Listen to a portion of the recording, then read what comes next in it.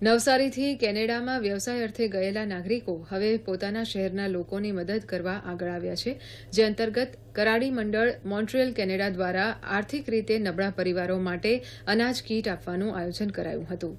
જલાલપુર તાલુકાના કરાડી ગામના દૈનિક રોજગારી મેળવનાર અને જરૂરિયાતમંદોને અનાજ કીટનું વિતરણ કરાયું હતું, જેમાં ચોખા, દાળ, લોટ, તેલ, ગોળ, ખાંડ, મીઠું અને કઠોળ જેવા રોજિંદી ખાદ્ય સામગ્રી આપવામાં આવી હતી.